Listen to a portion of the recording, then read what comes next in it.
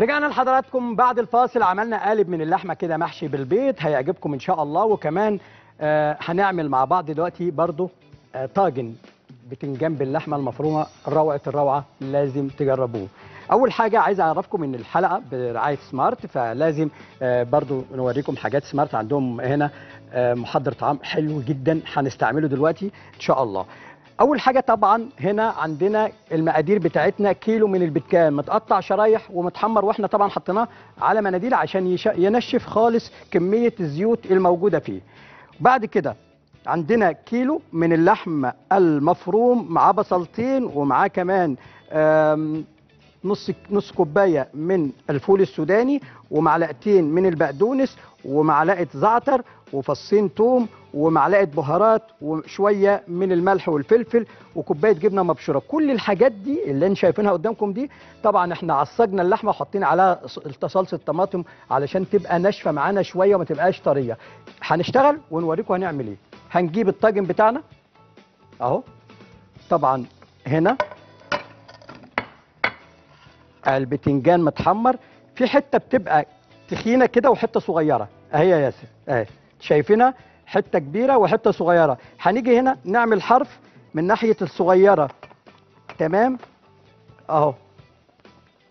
حرف كده من ناحية الصغيرة مش من ناحية الكبيرة. ونملى. ما تخلوش حتت فاضية علشان خاطر لما أجي أقلبه يطلع معانا آه، شكله حلو. آه وهنقدمه ممكن مع رز أبيض نقدمه مع اللي أنتوا عايزينه. جميل. أهو. جميل.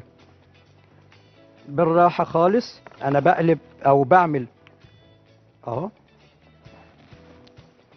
قطع البتنجان بتاعتنا في الحرف كده. وبعدين بعد ما نحطها أنا عارف طبعا كل الحاجات عندي مستوية فعلشان كده مش محتاج إن إحنا غير إن إحنا نغ- نغليهم غلوة واحدة على النار. تمام. لو أنا حطيت بصل وطماطم جواه شرايح لو أنا حطيت يبقى لازم أدخلها الفرن شوية. لو أنا حطيت لكن إحنا ممكن زي ما أنتم شايفين عملنا القعدة الأولانية أهي شايفينها. تمام. ونيجي ناخد بقى الحتت الزيادات دي نملى بيها. هنا. على قد ما نقدر. جميل كده. وأروح أبص بقى على القالب بتاعنا اللي إحنا عملناه من شوية علشان هنحمره دلوقتي زي ما قلنا بالزيت والزبدة. قبل ما نعمل أي حاجة خالص عايز أروح اسيح الزبده عشان ما تاخدش معانا وقت. بصوا بقى القالب عامل إزاي؟ ناشف معانا ناشف اهو اهو. شايف ياسر اهو. لما حسيت اهو. كده يبقى وصل للتسوية الكاملة وأنا اقلب اهو. نشف معانا خالص. هنجيب صينية ونخرجه. يهدى شوية. هنجيب صينية وناخد كده بالراحة. نخرج قطعة. بسم الله. ونسيبه يهدى شوية قبل ما نعمل أي حاجة خالص. لازم يهدى معانا شوية علشان خاطر كل المية الزيادة دي تنزل ولما نيجي نحمره ما يبقاش يتقطع معانا. تمام؟ وبعدين هنيجي هنا. فاكرين اللحمة اللي إحنا قلنا متعصجة بصوص الطماطم اللي فيها التوم وفيها كل المكونات؟ هنضيف عليها البقدونس ونضيف عليها شوية زعتر صغيرين ونقلب الخليط ده كده ونقلبه. يلا بينا. أهو. جميل. ونضغط. ما تخافوش أهو. اضغطوا كده ما تقلقوش خالص. تمام. زي ما قلت لكم لو عايزين تمام. لو عايزين تعملوا الخلطة دي فيها شرايح بتنجان تعملوا عادي جدا. تمام. لو قصدي شرايح طماطم وبصل. لو مش عايزين مفيش مشكلة. عشان كده هنيجي هنا ناخد بقى الفول السوداني بتاعنا عليها ونفرد كده. والجبنة المبشورة. أهو. شوفوا الشكل عامل إزاي يا جماعة.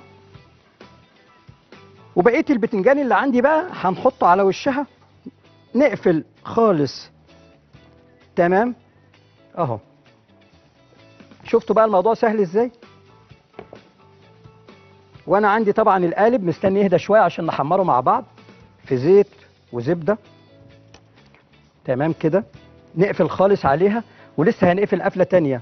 تمام كده أهو. بعد ما بنقفلها كده بنقفل الحروف اللي إحنا كنا عملنا فيها. أهي. بالراحة خالص. أهي. أهي. ما فيهاش بقى أي سوائل غير السوائل اللي كانت موجودة جوه الطماطم بتاعتنا أو جوه الصلصة بتاعتنا بتاعت اللحمة. أنا كل اللي هعمله دلوقتي هدخلها الفرن. كده تمام؟ هناخدها آه ندخلها الفرن 3 4 دقايق مش أكتر من كده عشان تشمع معانا.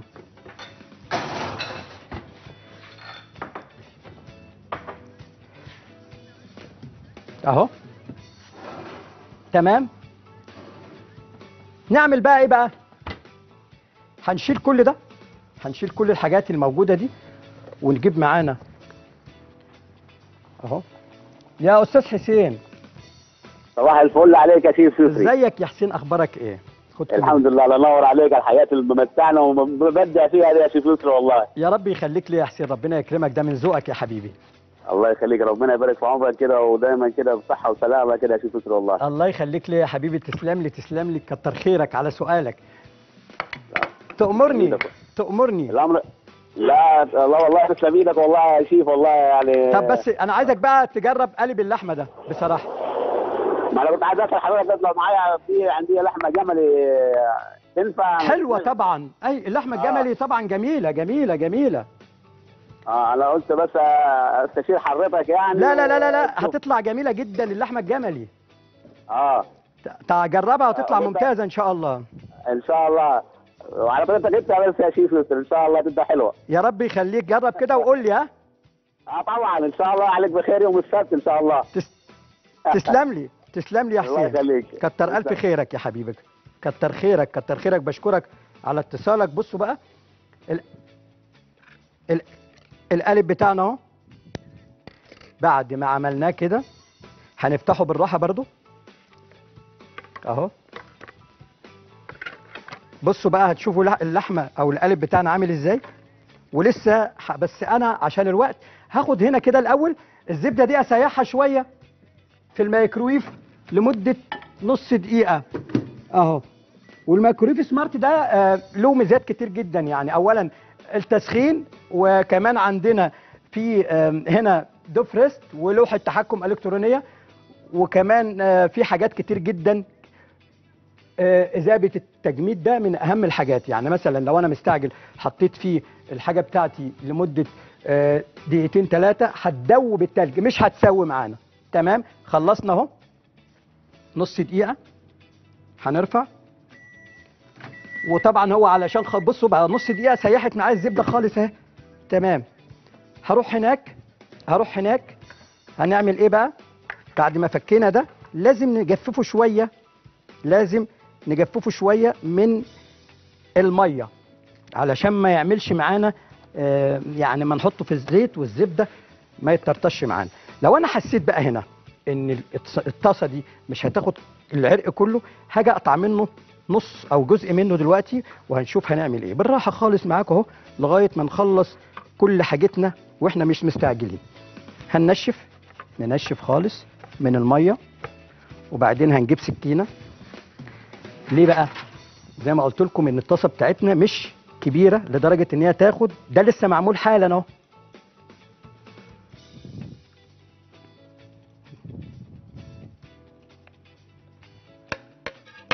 تمام كده؟ هناخد هنا الزيت والزبدة اللي إحنا سيحناها في الميكرويف. ونحمر فيه العرق بتاعنا.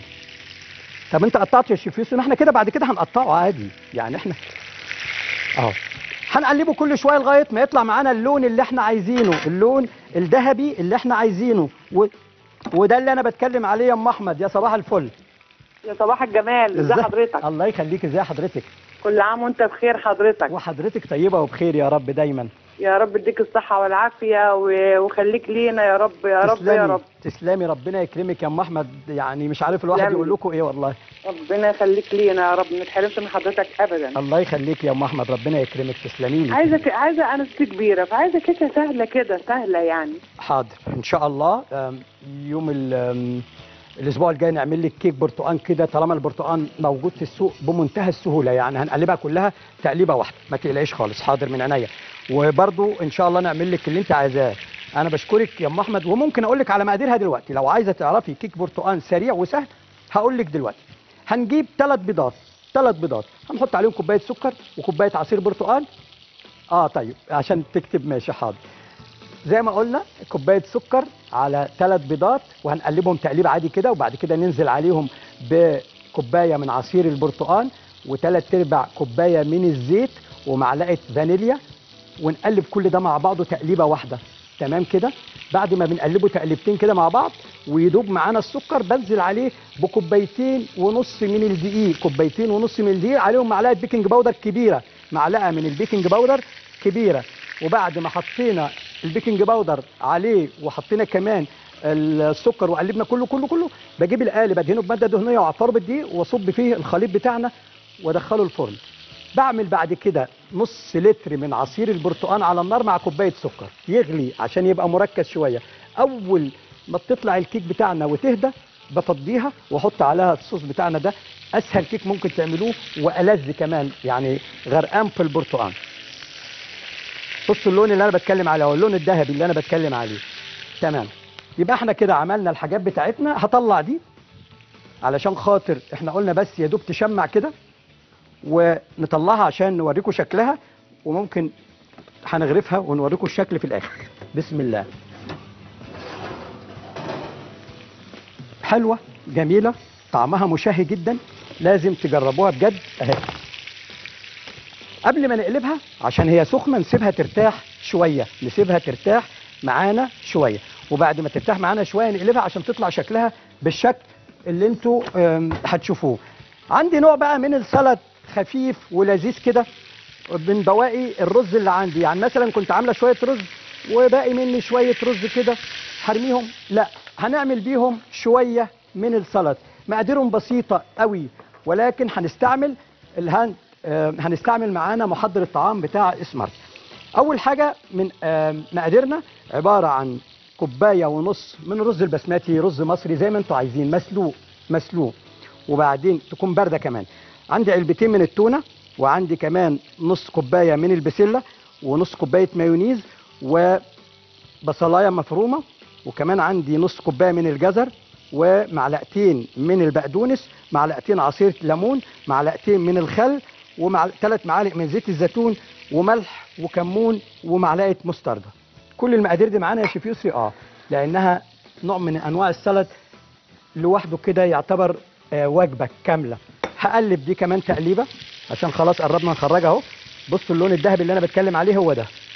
اللون الذهبي ده بعد ما بقطعها بقى آه، شرايح كده زي ما قلت نفطر بيها الصبح نقدمها بالطريقة اللي أنتوا عايزينها. دول حاجات جميلة جدا حبينا نعملها لكم وتعيشوا معانا عمايلها لحظة بلحظة لأن إحنا عملنا دي قدامكم على الطبيعة. هوديها بس كده تبرد براحتها نشيلها وبعد كده هنقطعها الشرايح بتاعتنا وكمان ناخد الطاجن ده عشان يهدى كده براحتنا ونقدر نغرفه مع بعض. عملنا مع بعض الحاجات دي وتعالوا بقى نعمل السلطة بتاعنا. آخر حاجة من المكونات السريعة اللي إحنا عندنا زي ما قلنا. الحاجات اللي بايتة عندي بستعملها. الحاجات اللي دايما بتكون بايتة عندي بستعملها. هناخد بس هنا الجزر مسلوق. فأنا هطحنه مع البصل وعليه عصير الليمون وعليه كمان الخل في محضر الطعام بتاع سمارت. وبعدين طبعا محضر الطعام ده له آه، يعني وظائف يعني تتعدى ال 30 35 وظيفة مختلفة. وطبعا زي ما أنتم شايفين كمان مدرج هنا علشان خاطر لو بنقيس بين اللتر هنقيس لو بنقيس باللتر هنقيس برضو المقادير اللي إحنا عايزينها السوائل. تمام كده؟ هناخد بس كده التونة كمان. أنا عايز أطحن الحاجات كلها. وبعدين المايونيز. تبقى ناعمة خالص. يعني الحاجة الوحيدة اللي ممكن أخليها هي البسلة والبقدونس. وبعدين نقفل كده. لغاية ما إيه نطحنهم مع بعض ناعم.